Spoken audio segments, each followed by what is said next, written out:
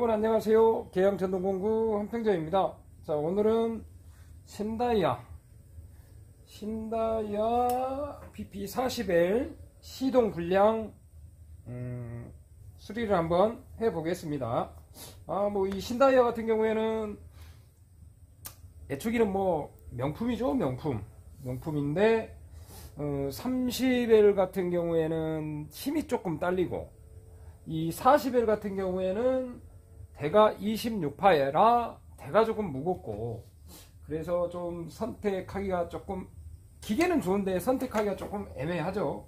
어, PP40L은 힘은 좋은데 대가 조금 다른 기계에 비해서 조금 무겁다는 거 어, 알고 계시면 좋을 것 같습니다. 그리고 30L은 엔진 출력이 조금 떨어진다는 거 그걸 알고 계시면 좋을 것 같고요. 자 일단 수리를 위해서는 프렉시블 프렉시블을 탈거를 먼저 하고요. 위험하니까요? 스테레타를 올리고 어, 요거는 초크가 반대쪽에 있네요. 원래는 오른쪽에 있는데 요거는 왼쪽에 있네요. 올리고. 오!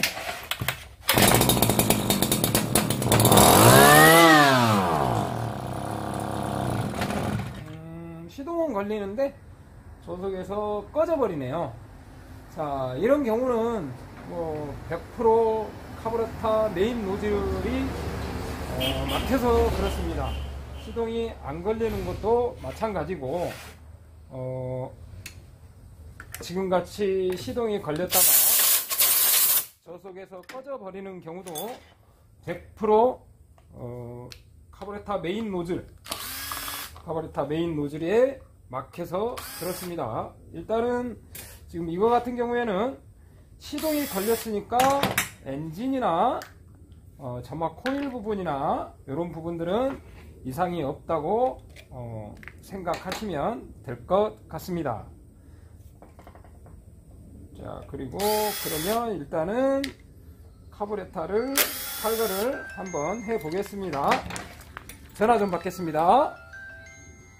자 그럼 계속해서 카브레타를 탈거를 해 보겠습니다 카브레타를 탈거를 하기 전에 오늘 음, 구독자분이 어, 질문 사항에 대해서 한 가지 답변을 드려야 되겠습니다. 자 카브레타 청소를 하고 어, 조립을 했는데 어, 이 아이들링을 아무리 조절을 해도 저속이 나오지 않는다는 겁니다. 계속 고속으로 돌아가는 경우는 무엇이냐고 하면은요 음, 일단 여기 가운데 보시면 구멍이 뚫려 있죠? 보면 이 가운데 핀이 올라가면서 기름량을 조절을 해주고 기름량과 어, 공기량을 조절을 해주는 장치가 이 안에 들어 있는데요. 이 부분을 지금 탈거를 한번 해보겠습니다. 이 부분을 조립을 하실 때 어, 아무래도 잘못 조립을 하신 것 같아요 물론 악셀레타가 이렇게 당겨져 있으면 육안으로 확인이 가능하겠죠 당연히. 음, 그런 것은 아닌 것 같고 이 부분 이 부분을 꿀러 보시면 어, 카브레타에 보시면 이렇게 홈이 보입니다 홈이. 이 홈이 이 카, 카브레타에 보시면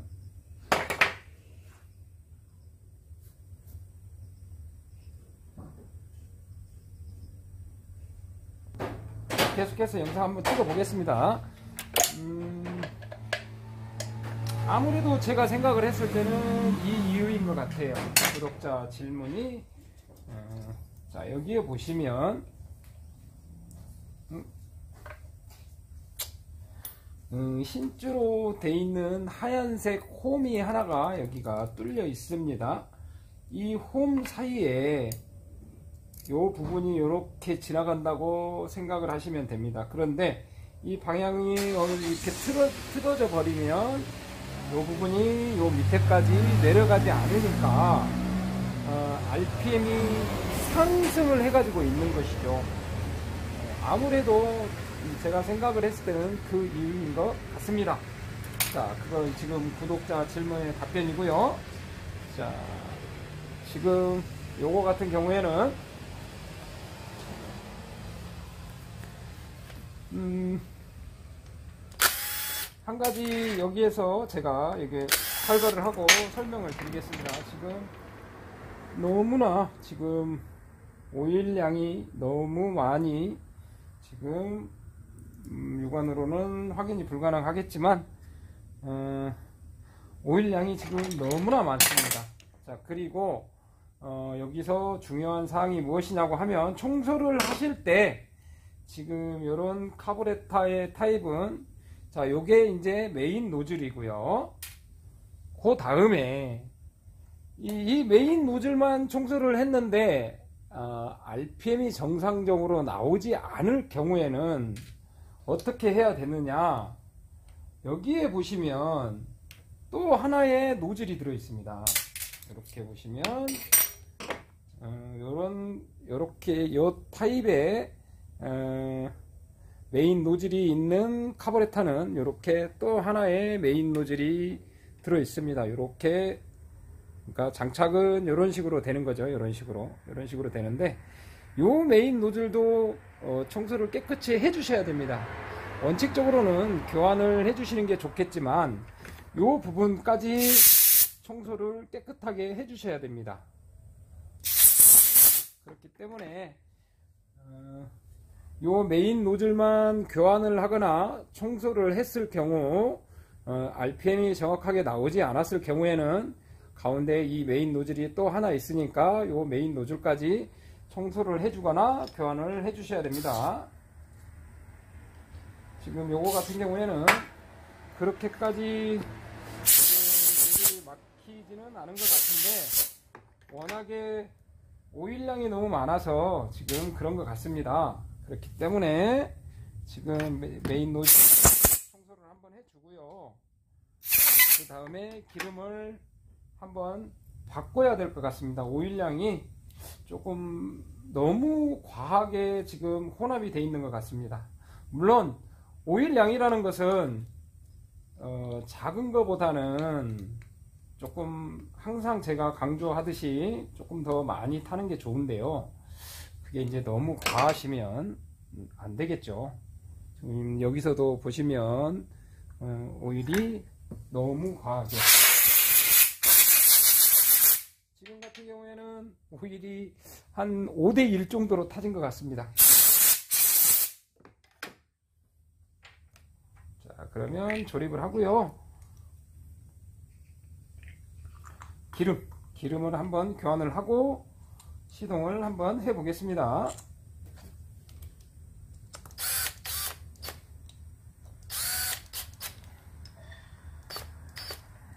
자.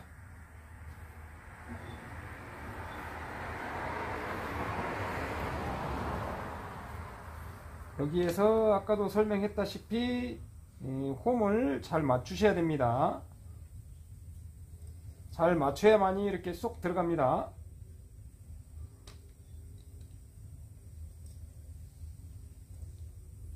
그리고 RPM이 내려가지 않았을 경우에는 맨 먼저 여기 가운데 구멍 가, 운데 구멍에 지금 여기 보시면 지금 RPM을 조절하는 장치가 밑으로 내려와 있는데요.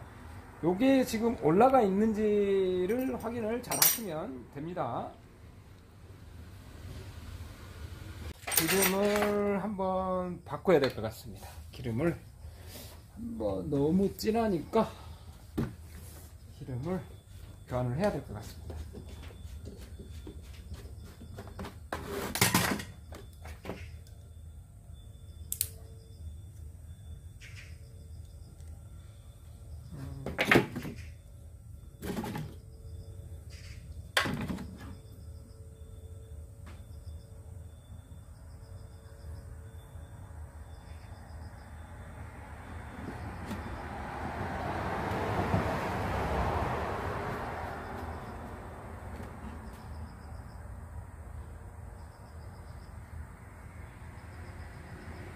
진한 색깔이 보이시죠?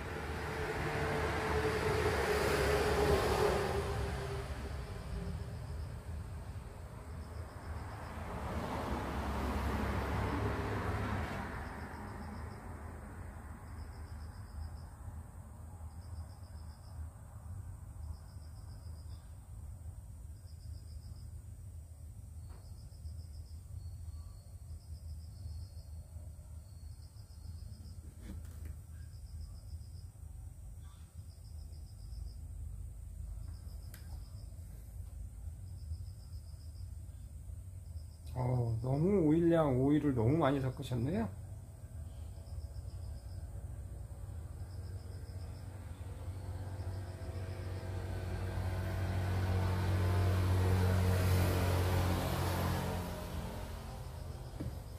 너무 제가 이 색깔을 보시면 너무 진하죠.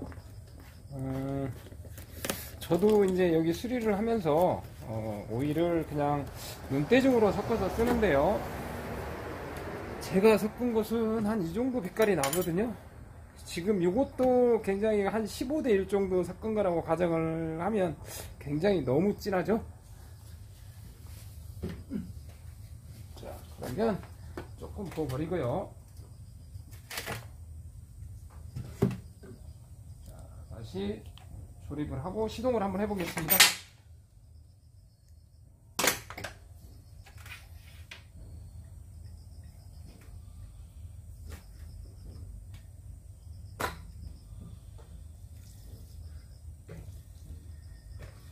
자, 시동만 한번 해보겠습니다.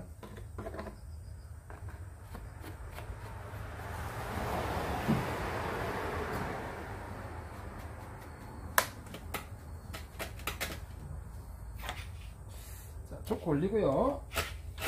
악셀레터 조금 당겨 놓고